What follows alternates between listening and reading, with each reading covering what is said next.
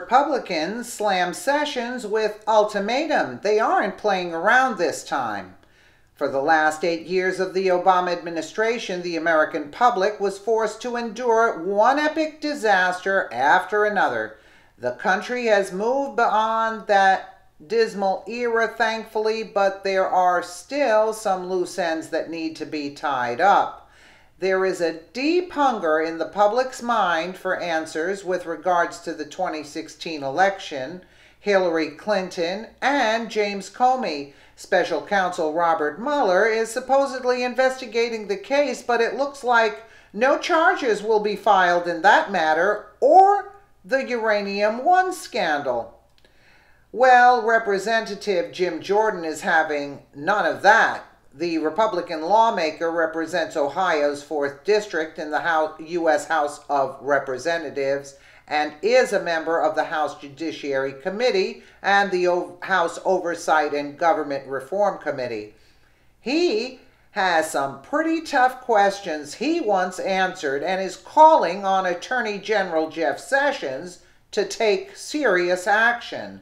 Pre Fox News on July 27, 2017, uh, 20 House Republican members of the Judiciary Committee sent a letter to the Attorney General calling for a special counsel to get answers to the Clinton Comey questions. On September 28, 2017, five House Republican members of the Judiciary Committee met with the Attorney General and Justice Department staff to inquire about the July letter.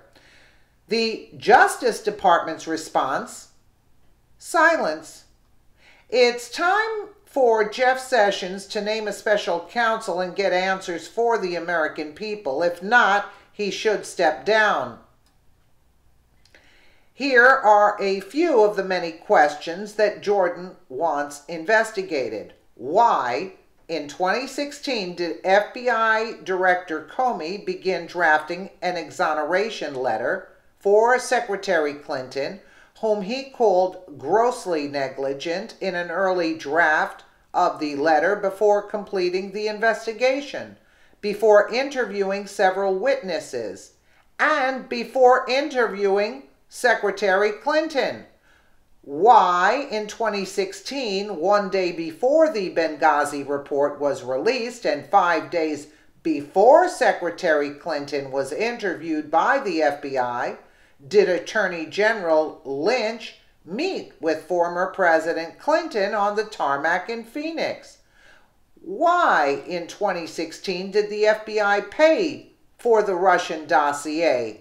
It's been reported that, in addition to the Clinton campaign and the Democratic National Committee paying Fusion GPS for the dossier, the FBI also reimbursed Christopher Steele author of the dossier.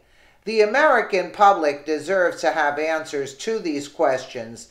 Mr. Sessions, concerned citizens everywhere ask that you do your job and investigate these matters fully. Absolutely. What do you think of Representative Jim Jordan? I applaud him.